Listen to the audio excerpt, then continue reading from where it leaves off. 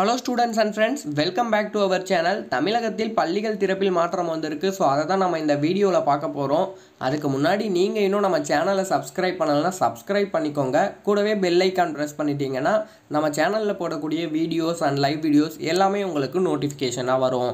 நம்ம இப்போ அந்த நியூஸ் என்னன்னு பார்க்கலாம். அண்ட் ஒரு இம்பார்ட்டண்ட்டான விஷயம் சொல்லிக்கிறேன். ஸ்டூடெண்ட்ஸ் எல்லாருக்குமே கொஞ்சம் ஹெல்ப்ஃபுல்லாக இருக்கும்.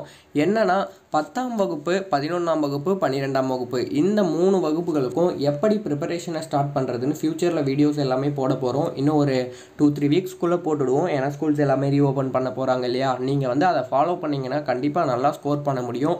ஸோ நம்ம சேனலை சப்ஸ்கிரைப் பண்ணி வச்சுக்கோங்க. அண்டு பத்தாம் வகுப்பு முடிச்சுட்டு பதினொன்றாம் வகுப்பில் எந்த குரூப் எடுக்கலானோ வீடியோ இருக்குது ஸோ அதையும் நீங்கள் மறக்காமல் மிஸ் பண்ணாமல் பார்த்துடுங்க தமிழகத்தில் பள்ளிகள் திறப்பு இப்போதைக்கு இருக்கிறது.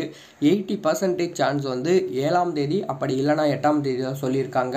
ஒன்றாம் தேதின்னு சொல்லியிருக்காங்க இல்லையா? இதை வந்து கேன்சல் பண்ண போகிறதா பேசிகிட்டு இருக்காங்க. பட் இன்னும் ஹண்ட்ரட் பர்சன்டேஜ் கன்ஃபார்ம் ஆகலை. நாளைக்கு வந்து பார்த்திங்கன்னா இதோட அனௌன்ஸ்மெண்ட் எல்லாமே வந்துடும் இருபத்தி ஐந்தாம் தேதின்னு சொல்லியிருந்தாங்க. ஸோ நாளைக்கு ஈவினிங் கண்டிப்பாக மே எட்டாம் தேதிக்கு மாற்றுறதா இல்லை ஏழாம் தேதிக்கு மாற்றுறதான்னு சொல்லிடுவாங்க. அப்படி இல்லை என்றால் ஆறு முதல் பன்னிரெண்டாம் வகுப்பு மட்டும் அந்த ஒன்றாம் தேதியிலேயே அவங்க எல்லாருக்குமே ஸ்கூல்ஸ் எல்லாமே ரீஓப்பன் பண்ணுறதா அப்படி அது குறித்து ஒரு முடிவு கண்டிப்பாக எடுத்துடுவாங்க. ஸோ ஸ்டூடெண்ட்ஸ் வந்து வெயிட் பண்ணிகிட்டு இருக்க தேவையில்ல. நாளைக்கு கண்டிப்பாக அவங்க எல்லாருக்குமே எப்போ ரீஓப்பன் பண்ணுறாங்கன்னு சொல்லிடுவாங்க.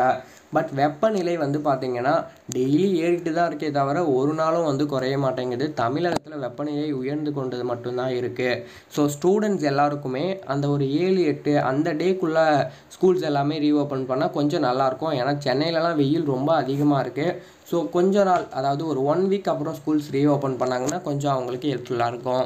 நம்ம சேனல் சப்ஸ்கிரைப் பண்ணிவிட்டு பெல்லைக்கான ப்ரெஸ் பண்ணிக்கோங்க. தேங்க்ஸ் ஃபார் வாட்சிங் கீப் சப்போர்ட்